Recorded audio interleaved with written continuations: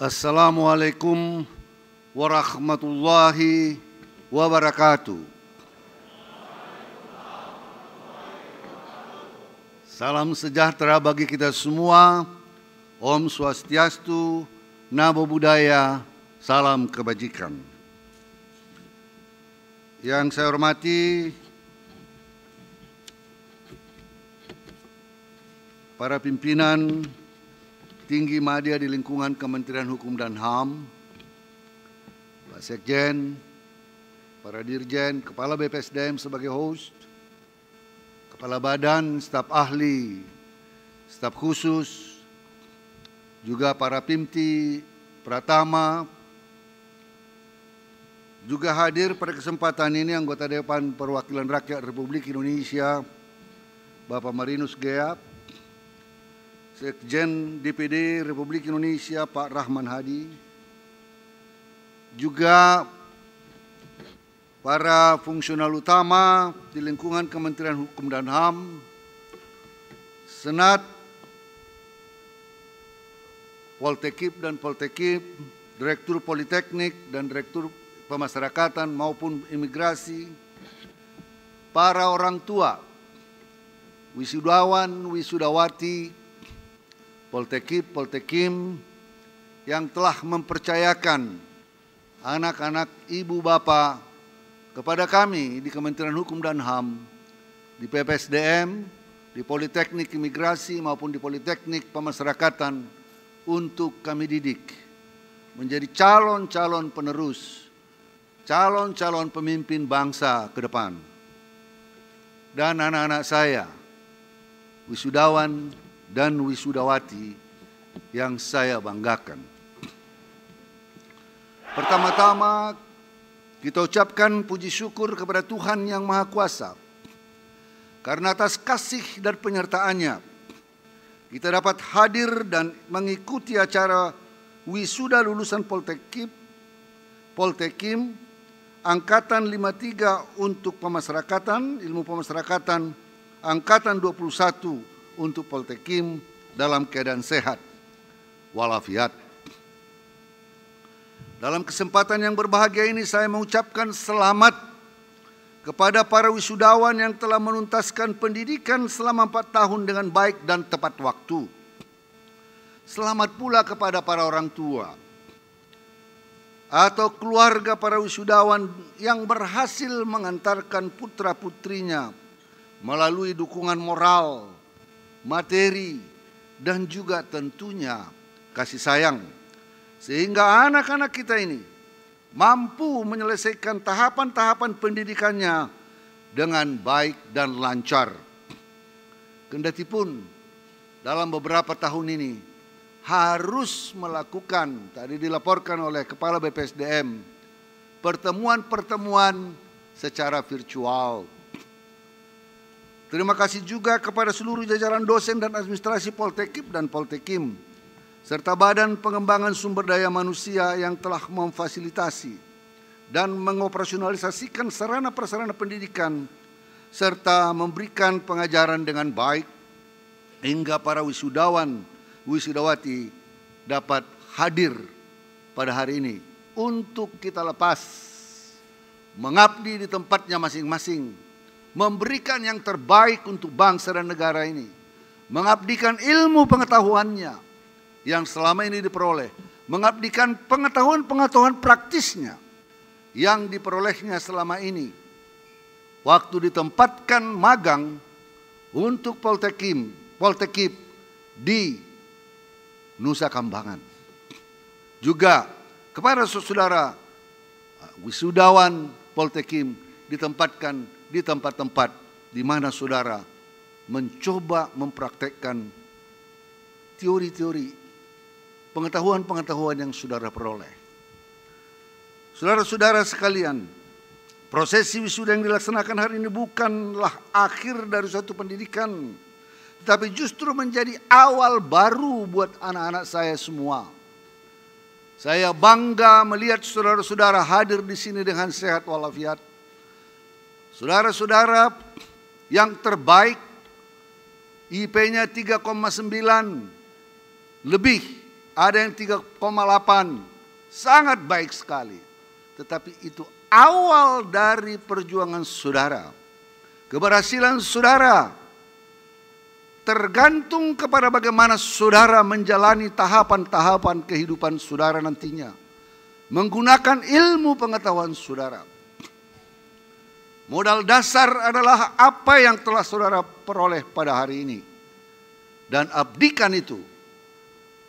Nanti saya akan memberikan wejangan-wejangan motivational speech dalam menghadapi tantangan hidup. Saudara-saudara, tentu indeks prestasi yang tinggi adalah modal yang sangat baik. Tetapi bagi saudara-saudara yang lain harus terus menempuh pendidikan lagi ke depannya, menambah ilmu pengetahuan saudara. Jangan pernah berhenti belajar, keep learning. Dan bagi saudara-saudara yang memperoleh indeks prestasi tinggi, saya ucapkan selamat.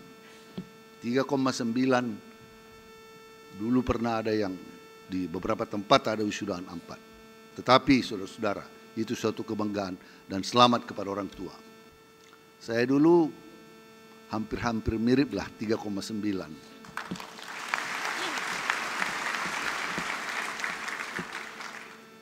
Tetapi itu di Amerika, PhD.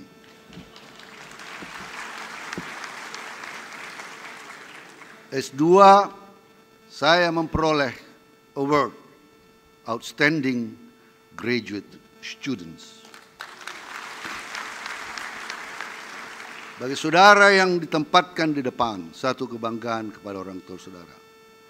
Pada waktu saya memperoleh award S2 saya, Outstanding Graduate Students, berdiri di depan mewakili mahasiswa-mahasiswa bule-bule lainnya.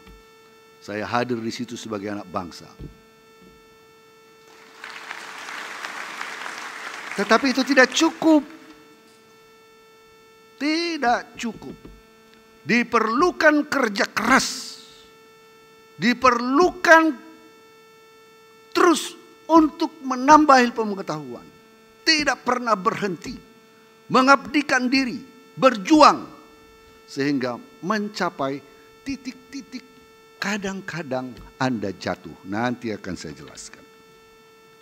Bapak Ibu sekalian, prosesi ini saya harapkan menjadi kenangan manis buat saudara. Tadi menyanyikan lagu. Walaupun kita berpisah tetapi bukan untuk apa ya? Walaupun kita hari ini berpisah tetapi akan bukan untuk yang terakhir. Akan bertemu kembali dalam medan tugas masing-masing. Bersaing di antara saudara-saudara kompetisi di antara saudara-saudara nanti di lapangan. Siapa yang terbaik mencapai yang tertinggi dalam lapangan pekerjaan. Competition the best of the best. Dia akan tampil ke depan. Dan saya senang saudara menunjukkan pengabdian kepada orang tua saudara. Saudara tidak dapat hadir di sini tanpa dukungan orang tua saudara atau keluarga. Kamu ingat itu.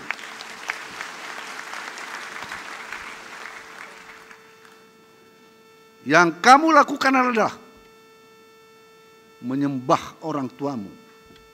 Gaji pertamamu itu kamu serahkan kepada orang tuamu nanti. Tidak mungkin kamu di sini kalau tidak karena keringat, pengorbanan, dan bimbingan kasih sayang dari orang tuamu. Ya. Saya pernah melihat sebuah video di Thailand. Seorang anak seperti kalian alumni dari satu sekolah di Thailand. Katakan itu Poltekim atau Poltekim. Wisuda. Pulang ditempatkan di tempat pekerjaannya. Yang pertama dia lakukan pergi ke kampungnya di desanya. Kemudian sampai di desanya dia menyuruh kakeknya mamanya dan papanya duduk. Dia ambil baskom, dia ambil air. Dia taruh kaki ayahanda dan neneknya di baskom. Dia cuci kaki ayah dan mamanya. Dia lap air bekas kaki ayah dan ibunya ke dalam mukanya dan ke dalam ke seluruh badannya untuk membuktikan aku merendahkan diri dan semua ini aku peroleh karena kasih sayang orang tua. Jangan pernah, sekali lagi jangan pernah melupakan orang tua yang membesarkan kamu. Anak-anak sekalian, di tengah COVID Anda belajar. Tentunya tidak sampai dengan tatap muka. Banyak hal yang mungkin terlewatkan baik dalam apa eh, praktik lapangan maupun dalam belajar tetapi itu tidak boleh mengurangi totalitas saudara di dalam belajar dan menambah ilmu pengetahuan saudara. Saya katakan tadi, terus tingkatkan kemampuan saudara dalam menghadapi tantangan yang lebih besar ke depan. Anak-anak saya, kalian adalah calon pemimpin ke depan. Harus mampu menjadi role model atau contoh bagi lingkungan di sekitarnya mampu membawa kementerian ini menjadi lebih baik ke depan. 10, 20 tahun ke depan, saudara akan menjadi pemimpin-pemimpin di unit-unit organisasi di Kementerian Hukum dan HAM.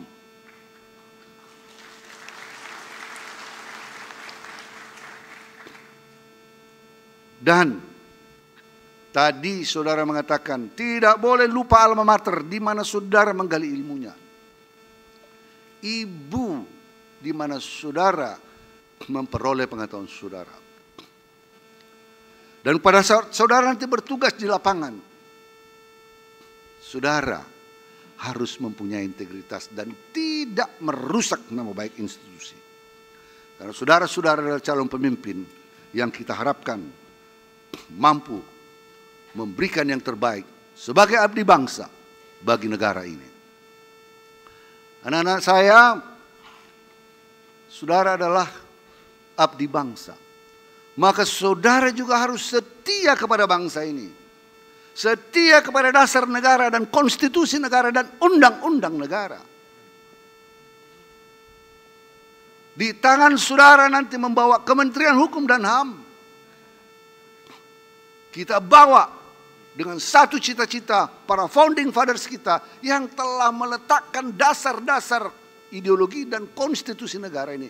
Dan saudara sebagai abdi bangsa, sebagai abdi negara harus benar-benar memastikan bahwa saudara mengabdikan diri saudara untuk keutuhan bangsa, keutuhan negeri dan memberikan yang terbaik supaya bangsa ini menjadi bangsa yang maju ke depan. Berlomba-lombalah saudara memberikan yang terbaik di antara semua Jangan saling melakukan permusuhan di antara saudara. Membuat yang terbaik untuk bangsa ini. Pastabikul khairat. Berlomba-lomba membuat yang terbaik. Kalau kita semua melakukan hal yang sama, seluruh anak bangsa melakukan hal yang sama, niscaya bangsa ini akan menjadi bangsa yang makmur, gemah ripah loh jinawi Toto Tentrem, Kartarjoso. Negara yang baldatun, toibatun, warok bun gofur. Dan di tangan kalian generasi muda. Di situ kita letakkan masa depan bangsa ini. Bapak Ibu sekalian, saya ucapkan terima kasih kepada para dosen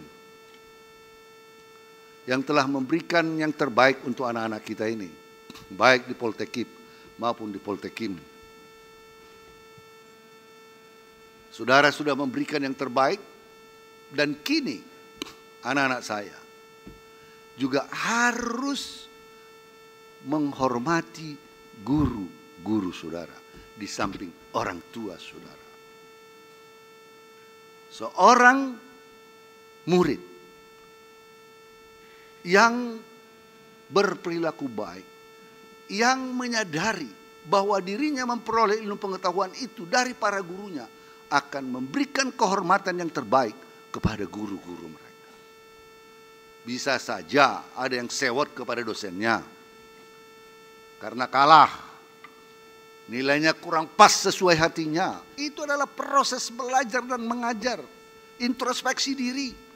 Tetapi seorang guru pasti menginginkan murid-muridnya lebih baik daripada dirinya. Saya mengucapkan terima kasih kepada apresiasi yang diberikan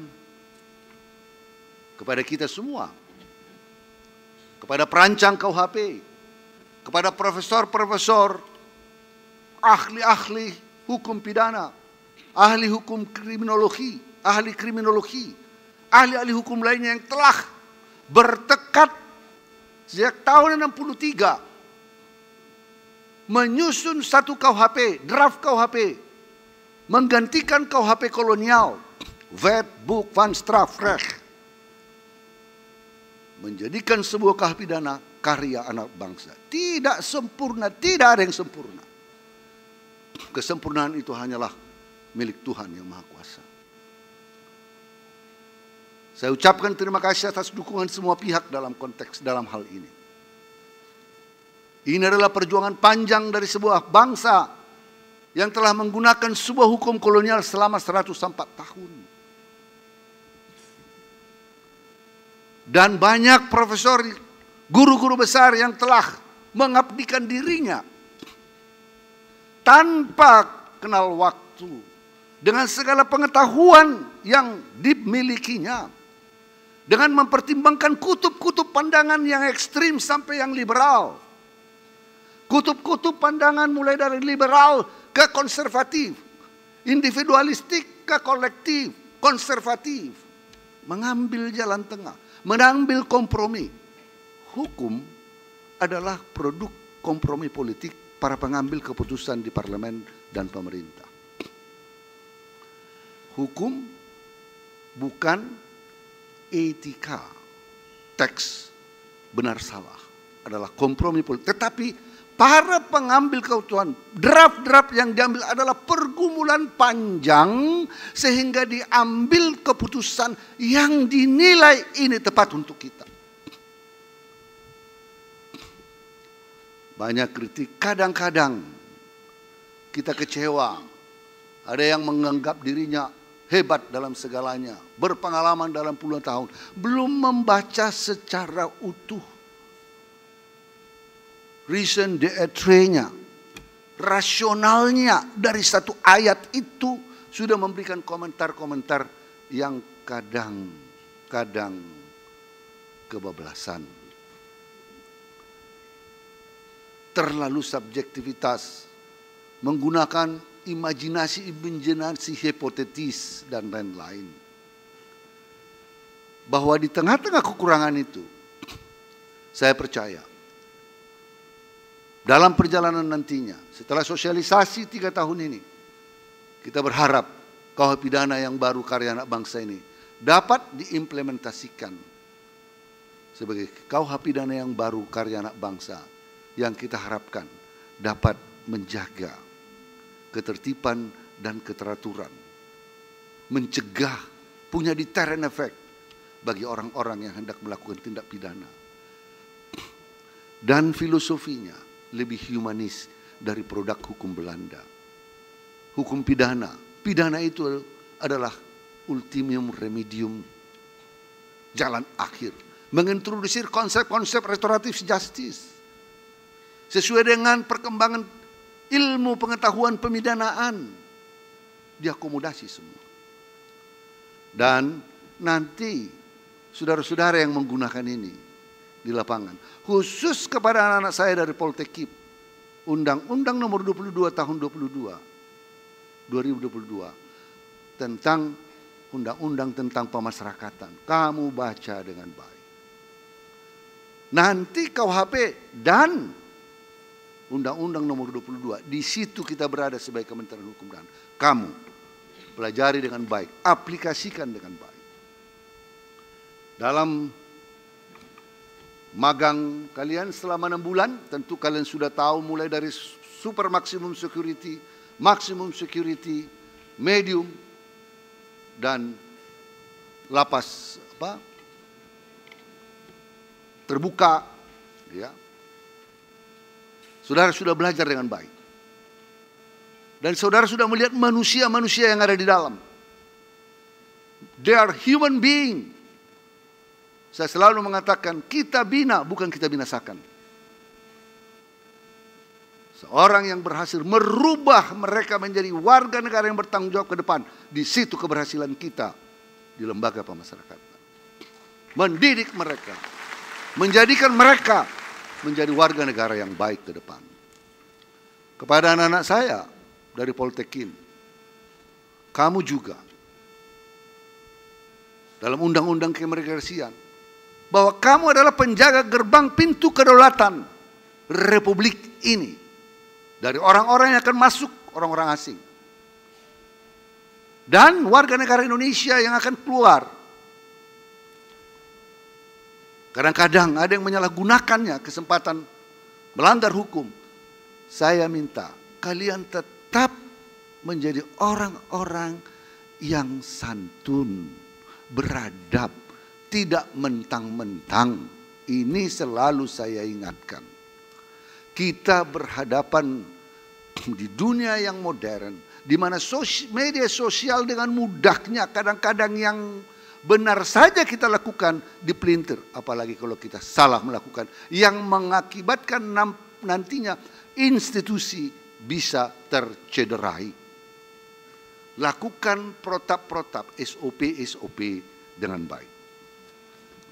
Bapak Ibu sekalian, pada acara wisuda ini tahun lalu saya sampaikan lulusan Poltekip dan Poltekip harus siap ditempatkan di mana saja. Siap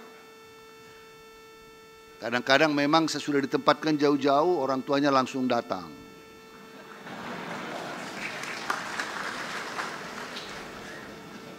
Pada waktu sebelum ditempatkan siap. Tanda tangani bersedia ditempatkan di mana saja. Di seluruh siap di seluruh Republik Indonesia. Baru lima bulan sudah merengek-rengek sama mamanya. He is not a fighter cemen ini barang. Bahaya ini dan bisa tidak berhasil ke depan. Para orang tua, biarkan anak-anak Bapak Ibu semua menjadi petarung-petarung hebat ke depan.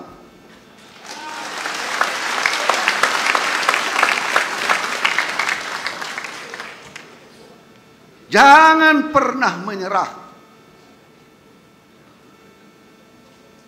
Dan saya mau sampaikan beberapa hal kepada anak-anak saya. Mungkin kamu pakai untuk hidupmu ke depan. Karena saya sudah melalui itu. Di sekolah saya pernah pengantar koran. Di Amerika tentunya. Yang menurut kalian itu rendah sekali. Ya bisa saja. Saya sudah pembantu rekan kuliah ke Amerika. Sudah ada jabatan pembantu rekan. Tapi karena tantangan hidup, saya bawa anak-anak saya semua ke sana tidak cukup beasiswa saya. Untuk menambah penghasilan dan tentunya tabungan ke Indonesia supaya ada dolar. Saya mengantarkan koran bangun jam 3 pagi pakai beker. Tring kita harus bangun pergi ke paper station. Ini untuk kamu yang muda-muda jangan cemen kamu.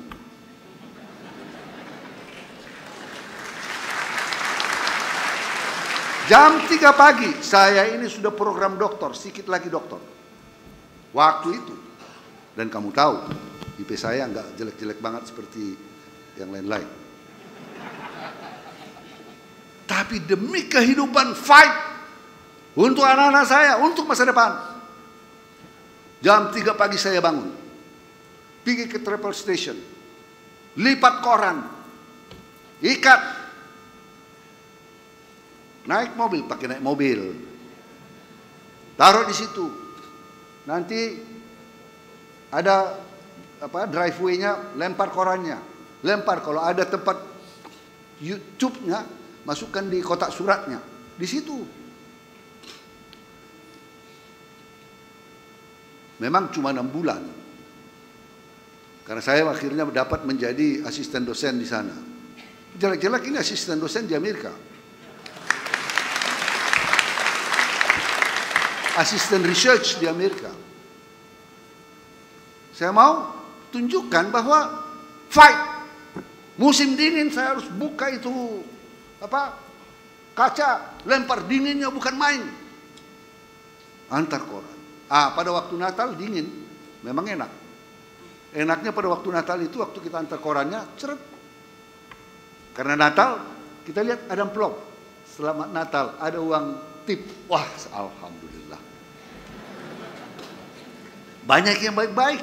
Dan biasanya kita tunggu sampai Natal. Biasanya orang itu langsung kita pulang di samping uang apa kita sudah dapat amplop segini. Waduh kita itu itu wah lumayan ini barang. Tapi itu kita kerjakan apa? Untuk hidup dan kehidupan ke depan.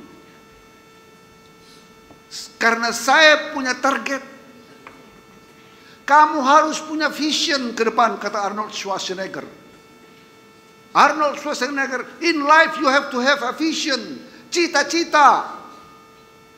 Bung Karno mengatakan gantungkan cita-citamu setinggi langit dan kalau kamu jatuh, kamu akan jatuh di antara bintang-bintang. Kamu mimpi menjadi menteri menggantikan siapa menteri Kumham, menteri hukum dan HAM nanti. Meleset sedikit di antara bintang-bintang kamu jatuh. Kamu menjadi dirjen.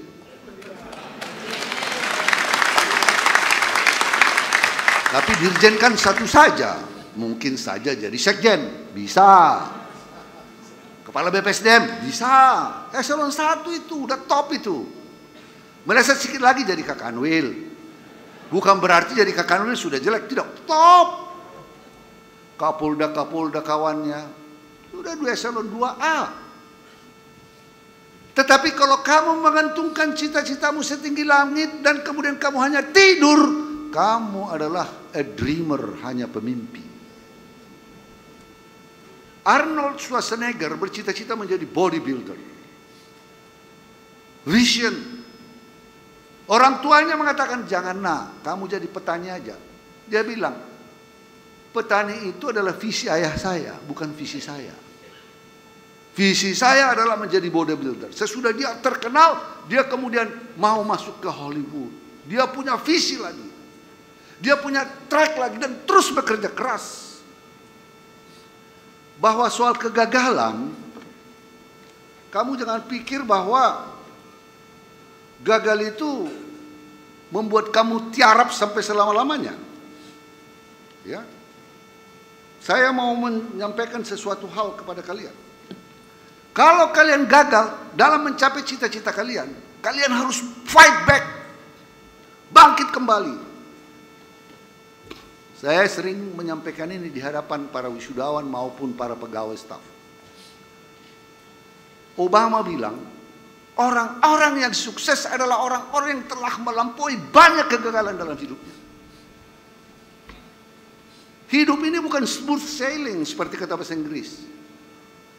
Kamu berada di antara gelombang-gelombang keras laut kehidupan, badai topan, pelaut yang tangguh adalah pelaut yang melampaui badai yang keras. Kalau dia mundur, dia tidak akan bisa menyeberang. Ya. Dia harus bertarung. Kamu tidak akan mencapai tujuan kalau kamu melihat tantangan itu segitu besarnya kamu mundur. Rabindranath Tagore mengatakan, You cannot cross the sea if you just staring at it without trying to pass the sea. Kamu tidak akan bisa menyeberang ke seberang lautan kalau kamu hanya memandang lautan itu di pinggir pantai. Tetapi kamu harus melewatinya walaupun gelombang keras. Penemu Kentucky Fried Chicken, Colonel Sanders. Semua di sini sudah pernah makan Kentucky Fried Chicken. Ada yang belum pernah makan Kentucky Fried Chicken? Saya rasa semua sudah ya. Apalagi anak-anak kuliah, pastilah pakai Gojek lagi. Itu orang Colonel Sanders itu adalah orang yang paling gagal dalam hidupnya sejak muda sampai pensiun. Sampai pensiun gagal. Master of failure. Berkeluarga pun gagal. Cerai. Dia gagal 1233 kali sebelum berhasil. Read my lips. 1233 kali sebelum berhasil. Setelah pensiun, dia rupanya punya keahlian bikin resep Kentucky Fried Chicken. Namanya Colonel Sanders Recipe. Itu yang keahliannya. Sudah pensiun umur 50-an hampir 60-an. Dia bikin resep ikan, eh, resep Kentucky, ayam goreng, dia jajakan ke satu restoran, ke satu restoran. Dia bilang, no, tidak mau, tak direken kalau bahasa Medan. Tetapi dia tidak patah semangat. Listen to this. Dia tidak patah semangat. Ditolak sana, jalan lagi. Tolak sana, perbaiki lagi resepnya. Tolak sana, perbaiki lagi resepnya. He kept fighting. Terus maju, pantang mundur. Akhirnya, setelah 1234 mulai ada restoran yang menerima setelah testing-testing. Dalam waktu 15 hampir 20 tahun. Kemudian, tidak sampai 10 tahun kemudian. Hampirlah, lebih sedikit. He is one of the richest men in the United States. Kentucky Fried Chicken yang sekarang sampai ke mana-mana di dunia ini ada Kentucky Fried Chicken. Fighting. Dan saudara tahu bahwa pembuat Honda mengatakan sukses itu satu persen dari hasil gagal 99 persen. Jadi kegagalan itu adalah tunangan keberhasilan kalau kamu bangkit, maju, memperbaiki diri dari kegagalan-kegagalan yang ada. Kamu tidak akan lulus poltekim poltekim kalau waktu gagal sekali, kamu langsung stop, aku pulang kampung. Habis. Sama dengan pacaran itu. Kalau ada orang pacaran, kemudian patah hati, ditinggal cowoknya, langsung nangis di ru kamar berminggu-minggu tidak mau makan minum. Yang paling fatal minum racun lagi, matilah dia. Minum baygon karena ditinggal pacar. Yang perlu kamu lakukan adalah kamu cari yang lebih tampan dari dia. Lebih hebat dari dia. Kamu bawa di mukanya. Hey, look at me. Itu baru top. Jangan pula kau kunci kamar, apalagi laki-laki. Di kuncinya kamar meraung-raung dia, mah udah ditinggalnya aku mah katanya. Alamak, cemen banget lu. You stand up and fight back. When you fall down, stand up, fight back. Never retreat. Albert Einstein, penemu teori relativitas dan bom atom, 115 kali gagal dalam penelitiannya. Bukan sekali. Thomas Alva Edison, siapa Thomas Alva Edison? Penemu listrik, lebih gagal lagi. 1500 kali gagal baru menemukan lampu pijar. Kalau dia gagal ke seribu tidak diteruskan lagi, sudah bosan dia, dia bilang, oh forget it. Kita tidak punya listrik ini sekarang. Thanks to Thomas Alpha Edison because he's a fighter. Never give up. You should never give up, never give up. Jangan pernah menyerah. Kalau pada suatu saat ada juga ini pengalaman kita ini. Udah dia di dipindahkan dari Kakanwil atau dari apa namanya? Ya Solon dua bila katakan. Ya tidak digeser sedikit ke samping ke kampung sana udah nangis Bombay dia. Nggak mau berjuang. Tunjukkan bahwa kamu yang terbaik nanti akan berlian itu akan nampak ber dari pekerjaanmu nanti akan kamu misalnya sekarang ditempatkan di katakanlah apa uh, kasih nanti mula-mula kasih kemudian karena kurang prestasi malas dirubah dikasih tidak jabatan langsung nangis gak mau lagi kerja gagal kau kamu gak akan sampai di atas tapi kalau kamu kemudian menunjukkan itu keputusan salah. Saya ini potensial. Then you do your best. Kamu terus bekerja keras, kamu akan bisa menjadi top ke depan. Nah ini penting dalam hidup, saudara-saudara. Agar kamu berhasil. Ingat ya, vision. Kamu targetkan apa yang menjadi cita-citamu. Kalau kamu politekip, sekarang apa yang menjadi keinginanmu ke depan? Dirjen kah? Atau apakah? Gantungkan citamu-citamu setinggi langit. Jangan buat cita-citamu pendek sehingga kalau kamu capai sudah puas kamu. Jangan. Orang mengatakan bahwa kadang-kadang orang frustrasi karena dia membuat cita-citanya pendek. Sesudah itu bosan. Tapi kamu gantung sehingga kamu terus dan kamu siapkan dirimu terus mem memenuhi prerequisite bahasa Inggris prerequisite prerequisite semua tahapan-tahapan yang diperlukan untuk mencapai tujuan itu. Saya minta anak-anak saya, kamu orang-orang cerdas karena CAT-nya sudah baik, Inggrisnya sudah baik. Kamu belajarnya jangan hanya S1, S2, S3 kalau perlu kamu ambil di luar negeri. Sekarang ada LPDP, Kalau kamu nanti sudah S3, ya potensi-potensi jadi dirjen. Mana tahu nanti suatu saat karena excellent bisa jadi menteri juga. Dan bisa saja bisa ada di antara saudara yang mau jadi calon presiden. It can happen. Don't close your dream kepada satu tertentu. Boleh bertahap. Tapi ambil dulu aib, kemudian kamu tahapkan terus, tapi bekerja keras untuk itu. Kali kamu dalam sumpahnya integritas, integritas. Warren Buffet mengatakan, Warren Buffet mengatakan,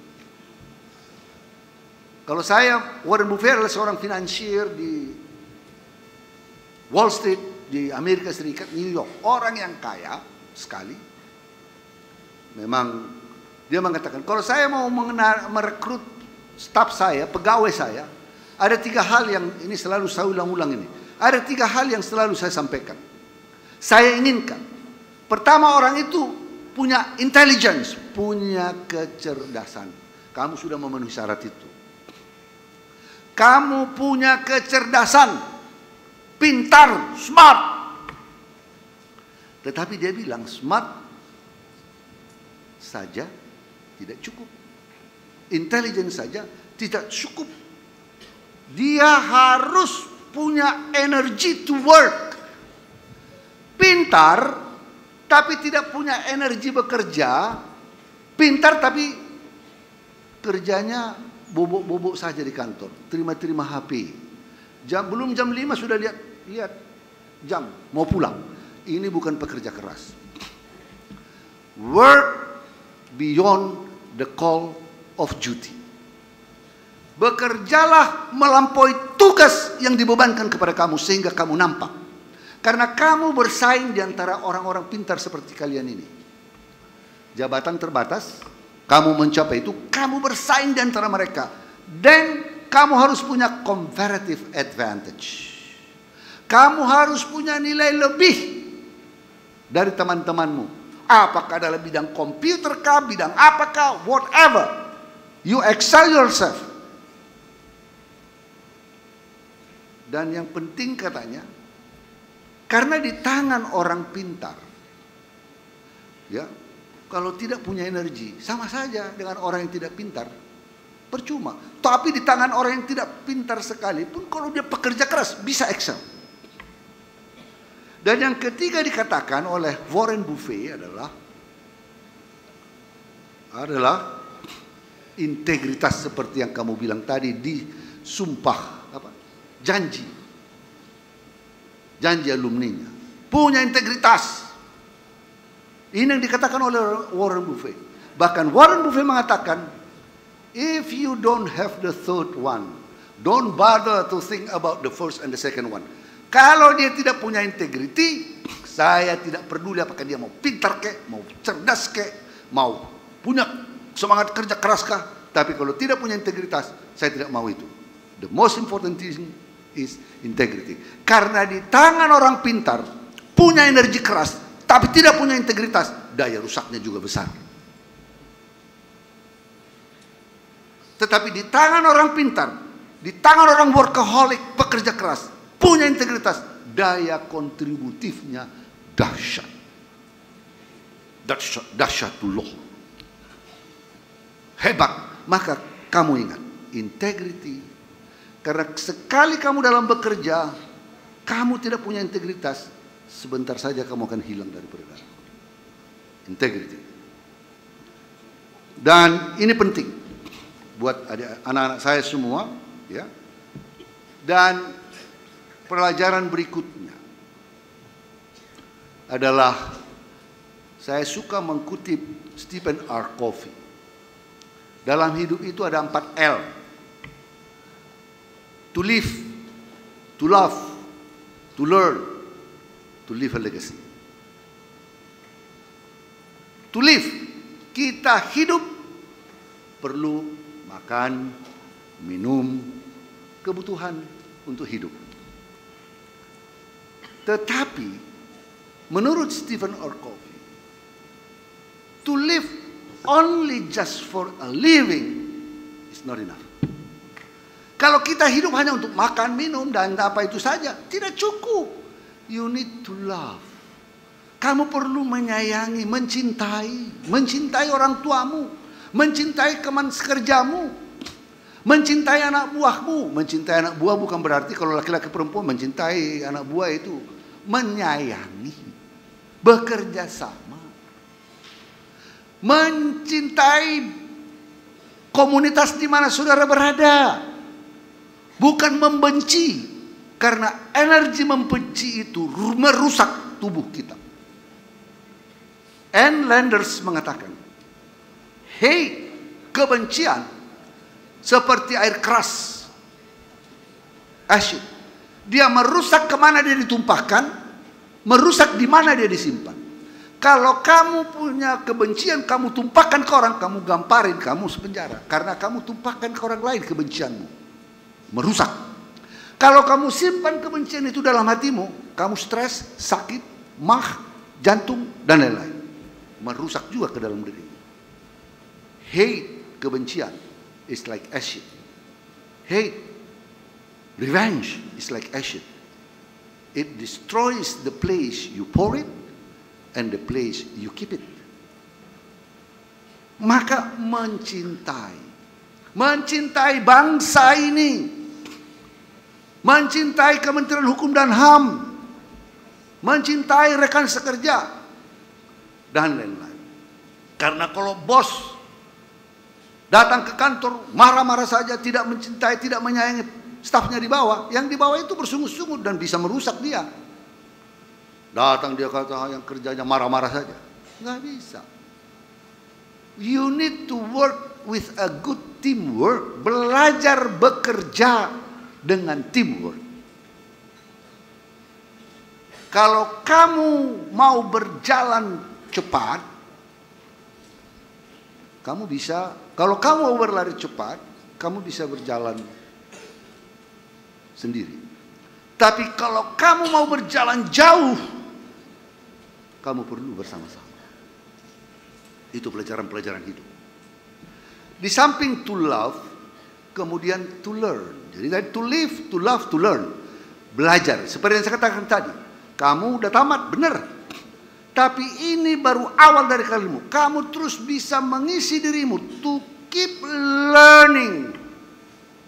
Jangan seperti lilin, dia menerangi di sekitar lama-lama dia habis.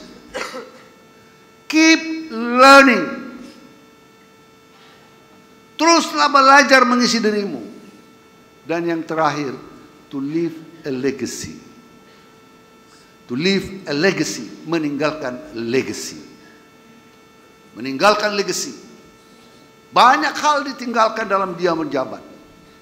Waktu saudara menjadi kakanwil atau saudara menjadi kakanim, wah itu kakanimnya bersih, rapi, be, apa WBK, WBBM rapi, tidak ada pungli, tidak ada ini. Orang bilang top. Tapi kalau dia ditinggalkan berantakan, itu bukan legacy yang baik. Itu notorious namanya, bukan famous. Maka live a legacy. To live, to love, to learn, to live a legacy. Hari mau mati meninggalkan belang. Manusia mati harusnya meninggalkan legacy. Waktu dia, ya ini ini kita bangun waktu kita di sini. Kampus ini, kampus Tangerang ini Mudah-mudahan lah diingat orang-orang nanti. Ini kampus ini ada waktu saya jadi menterinya ini. Tetapi saya mau sampaikan satu hal tentang gedung ini. Tadi saya berbicara tentang KUHP. Salah seorang yang mengikuti terus KUHP, guru besar, dalam ketuaannya, dalam kondisi fisiknya yang boleh kita katakan sudah rentah jalan pun ini adalah Profesor Muladi. Malam siang ikut terus. Ini Pak Ambek tahu Pak sebagai tim. Dia terus mendedikasikan dirinya dan impiannya untuk melihat KUHP disahkan. Pada waktu tahun 2019 KUHP disahkan pada tingkat pertama di Komisi 3 Profesor Muladi sangat terharu. Dan dia mengatakan, saya kita sudah membayar utang-utang kita, utang kita kepada pendahulu-pendahulu kita. Begitu hormatnya dia, begitu hebatnya dia mendedikasikan dirinya bahwa kita harus melepaskan diri dari KUHP lama yang filosofinya lebih kepada revenge, retribution. Dia bekerja keras siang malam. Kadang-kadang mohon maaf, saya lihat kakinya sudah goyang-goyang, bergetar. Tapi malam, siang, dia mendedikasikan dirinya. Untuk menghormati beliau, saya ingin memakai nama gedung ini, gedung Profesor Dr. Muladi. Disiapkan, Pak kita harus mampu mengapresiasi orang-orang pendahulu kita yang telah menunjukkan dedikasinya kepada masterpiece, the landmark of our national wall. KUHP ini terlepas dari terlepas dari segala kekurangan kekurangan ada kekurangan kekurangan tetapi itulah kompromi politik Itulah hasil yang terbaik kita lakukan. Ya. Tidak ada yang sempurna. Kalau tidak, tidak akan pernah ada. Tidak akan pernah kita selesaikan sampai tahun kuda pun tidak pernah ada. Kalau hanya mau semua setuju. Atau bisa saja kalau kita katakan kita larang kohabitasi. Ada kutub lain yang mengatakan tidak boleh harus ada. Maka middle ground kita ambil kohabitasi itu tidak sesuai dengan adat dan budaya kita, agama kita, maka diadukan oleh keluarga dekat, keluarga inti. Itu kompromi politiknya sehingga bisa disahkan. Bahwa ada orang yang mencoba memaksakan memaksakan konsep liberalisme seksual, not in this country. Kita punya Pancasila. Kita punya budaya, kultur yang betul-betul terikat kepada adat-adat yang tersebar mulai dari Sabang sampai Merauke, yang ada dari Miangas sampai Pulau Rote, yang harus kita jaga. Kita adalah negara berdaulat. Maka itu sekali lagi saya ucapkan kepada saudara sebelum saya akhiri, ya, saudara tadi saya katakan targetkan vision saudara. Upayakan untuk sampai di situ. Kalau saudara mencoba ter, tersandung, bangkit, lari lagi, bangkit, bangkit, fight lagi. Jangan biarkan dirimu terperangkap kepada kegagalan. Beda orang sukses dengan orang berhasil adalah orang berhasil jika dia gagal, dia bangkit kembali dan terus berupaya untuk memperbaiki kegagalannya dan terus berjalan mencapai tujuannya. Orang yang gagal, loser adalah kalau dia gagal, dia meratapi kegagalannya dan tidak mau bangkit kembali. That's a loser. You have to keep learning. Dan percaya sama saya, saudara akan berhasil dengan baik. Di belakang seorang pria yang berhasil ada seorang wanita. Tetapi tidak berarti untuk mas, lebih banyak berhasil menambah wanita-wanita di belakangnya. Karena dikatakan di balik seorang yang berhasil ada seorang wanita. Di balik seorang pria yang gagal ada dua orang wanita atau lebih.